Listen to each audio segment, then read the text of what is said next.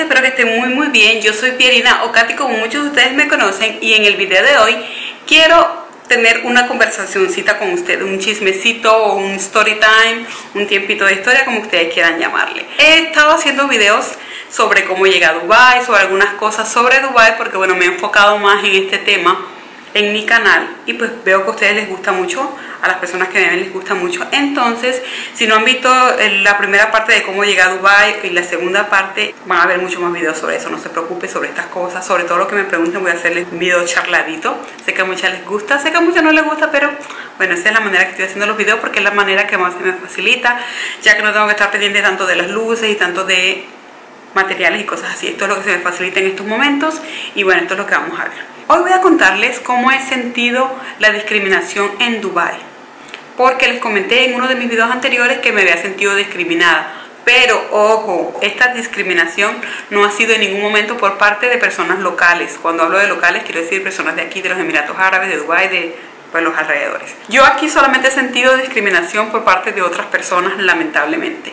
Cuando comenté un poquito esto en el video anterior, me dijeron que estaban seguros que había sentido discriminación de parte de latinos porque entre latinos éramos así, hubo un comentario así y bueno, lamentablemente en algunas ocasiones esto pasa, pasa bastante. Voy a contarles de las veces que más recuerdo que me he sentido discriminada porque la verdad es que yo soy de las personas que muchas veces las cosas me resbalan y no le presto atención y es más, a veces ni siquiera me doy cuenta que lo están haciendo porque yo siempre pienso de pronto aquella persona quiso decir otra cosa y esto como que para que no me afecte, para que no me moleste. Antes ya yo había estado en grupitos eh, de, de, señoras latinas y todo eso y al principio estuve en este grupo y me retiré porque sentía que había unas mujeres que miraban si tú tenías bolso de marca, si tú tenías esto y lo otro y conforme a cómo estabas vestida y las cosas que estabas usando así te trataban. Entonces pues yo dejé de ir a esos grupos.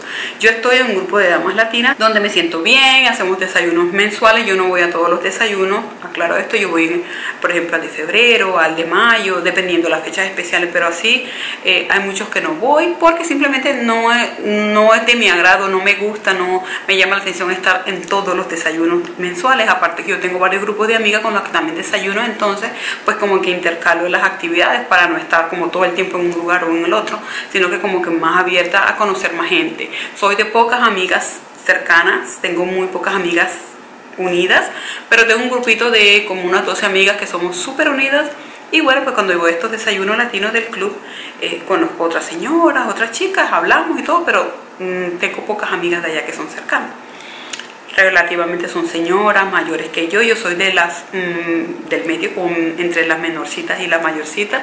Y bueno, pues son señoras casadas, señoras con hijos. Bueno, en este grupo latino yo no he sentido la discriminación así como tan cortante, pues no. Como les digo, al principio, digamos unos 12 años, sí sentí algo raro, entonces fui a varios desayunos y luego me retiré, pero ahora volví, pues el grupo está chévere. Cuando siento que el grupo está muy pesado, paro un ratico y espero como que se reoxigene el grupo y haya gente diferente, pues eso es lo que yo hago. La primera vez que yo me sentí discriminada, discriminada, pero fuerte, discriminada en Dubai les voy a contar. Cuando yo estaba embarazada de mi niña, la segunda niña, Dana, eh, yo quería comprar un, un mueblecito que si encuentro en la foto se los voy a colocar. Es como una sillita que uno coloca ahí y el niño puede saltar y tiene muchas actividades alrededor para entretenerlo. La niña tendría como unos 3 o 4 meses y yo dije, ay, ya, ya quiero empezar como que a buscarle este eh, aparato porque yo lo había tenido con Sassy pero lo vendí porque es algo grande que ocupa mucho espacio entonces yo no iba a guardar eso por, por tanto tiempo entonces yo quería comprarlo de segunda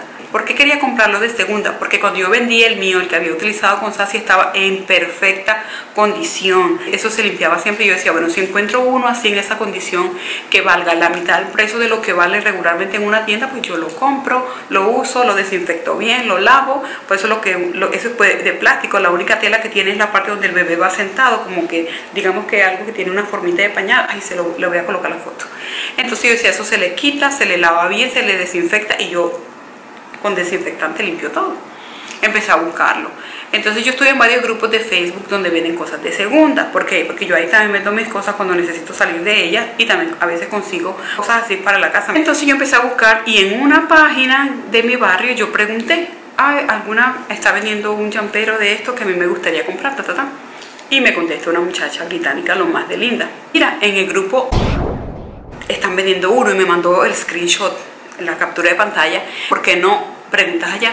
Cuando traté de acceder a este grupo, el grupo era un grupo privado, entonces yo le mandé la solicitud. Cuando tú quieres entrar a un grupo privado, te pregunta, eh, tú haces esto, tú harías esto, entonces uno tiene que contestar un cuestionario antes de que lo acepte. En ese tiempo no había nada de eso, no, no existía eso en Facebook. Simplemente yo mandé la solicitud y esperé un día, dos días. Como no me contestaron, busqué a las administradoras del grupo, que eran cuatro, y a las cuatro le envié la misma carta. Les pregunté que yo había eh, preguntado um, la solicitud al, al grupo, que habían pasado varios días y que no me habían aceptado, que a qué se debía. Dos me ignoraron y dos me contestaron.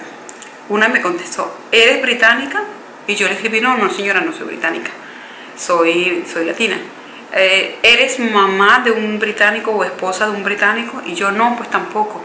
Me dijo, lo siento, este grupo es solamente para mamás británicas. Mamás británicas o mamás de británicos. Y yo quedé, ahí sentí la discriminación. Y la manera que ella me lo dijo no fue una manera bonita, me escribió, o sea, no me escribió lo siento, sino este grupo es solo para mamás británicas o mamás de británicos. Y yo quedé como, me sentí mal, me sentí muy mal. Entonces yo le contesté a la chica eh, vecina que me había dicho, que ella sí es británica. Ella me preguntó, ¿lo compraste? Yo le dije, no, no lo pude comprar. Me contestaron esto y esto.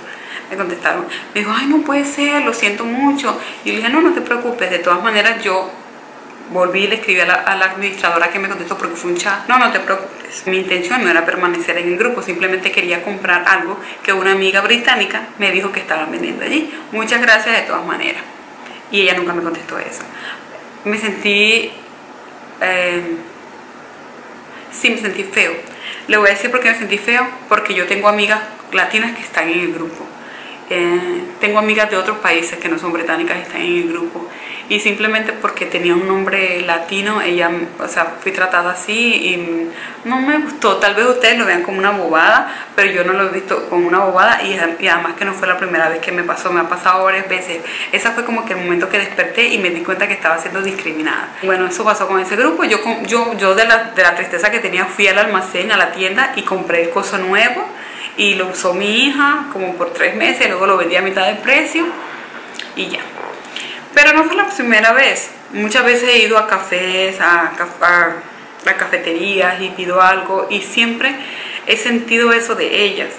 He sentido como un poquito de rechazo. Incluso yo, yo soy una persona que se ríe mucho y yo trato de saludar y siento rechazo. Lo he sentido, les digo, esa discriminación solamente la he sentido de parte de ellos. Nunca, nunca he sentido discriminación de parte de una persona local de acá. Al contrario, tengo amigas que son muy lindas, amigas árabes que les encanta el hecho de que yo sea latina, la manera en que la casa, en la casa de mi esposo me presentan cuando, cuando es fiesta. Es, mira, es la esposa de, de Vivo y es colombiana. Colombia, ¿sí? ¿Dónde queda Colombia? En Sudamérica. ¡Wow! ¿Qué es Sudamérica? ¿Dónde es eso? Cerca de Brasil. ¡Uh, wow! Mira, no sé qué. O sea, siempre me he sentido, eh, cuando conozco un local, cuando conozco una local, siempre me he sentido que, que, ellos son muy abiertos. Lo que pasa es que aquí en Dubai la gente tiene la idea de que como ellos son tan serios, de que como siempre, casi siempre están cubiertas las chicas y eso, y que eh, creen que todos ellos son ricos, son poderosos y son no sé qué, la gente los evita un poco. Pero no, si tú llegas a Dubai, te aseguro que vas a tener amistad muy bonita con gente local. No vas a sentir discriminación porque ellos están abiertos a conocer mucha gente, a, a escuchar nuevas experiencias, a escuchar nuevos acentos, les gusta la música latina, la música latina aquí se escucha muchísimo, ustedes se imaginarán. Eh, las sobrinas de mi esposo me piden que les grabe música latina para colocarla en el carro y a veces están en Instagram y ponen en sus, en sus historiales eh, lo que están haciendo mientras están conduciendo, mientras están varias en el carro y la música que yo escucho es la música que yo les he pasado y eso se siente muy chévere. La familia de mi esposo me ha tratado bien, amigos me han tratado bien, gente que he conocido en el colegio de mis hijas, en cafetería, ellas sonríen cuando uno está ahí, cuando uno está hablando. Eh, son buena gente, o sea, son buena gente desde que tú respetes sus, tradiciones, sus reglas, sus cosas. Gente buena y gente mala hay en todos los países. Yo sé que los colombianos tenemos cierta fama de unas cosas, pero no todos somos así. Así los libaneses tienen fama de que son muy que se la tiran de mucho, pero hay libaneses muy buenos. Lo mismo con los argentinos, lo mismo con los venezolanos, lo mismo con... Hay gente buena y hay gente mala en todos los países. Entonces, lo que yo les quiero decir es que no nos limitemos a dejarnos llevar por prototipos, por fama de algo que en este país son, en este país son así, en este país son así, no. Mire, yo les digo que yo aquí con los árabes me he sentido bien. Si tienen algo los árabes, regularmente eh, pues los hombres es que, que son muy lanzados.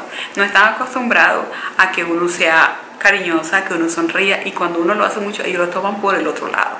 Pero bueno, ya eso es otro tema que se puede hablar más adelante sobre los hombres árabes dependiendo de dónde sean. Eh, nada, esto fue una historia así como para dejarles saber cómo me he sentido con algunas nacionalidades, porque aquí hay cientos tantas nacionalidades unidas y muy pocas molestan porque cuando es un lugar así, en un país donde hay tantas nacionalidades reunidas y tanta gente de tantos países del mundo, pues las cosas como que pasan más, hay cosas que son más permisivas.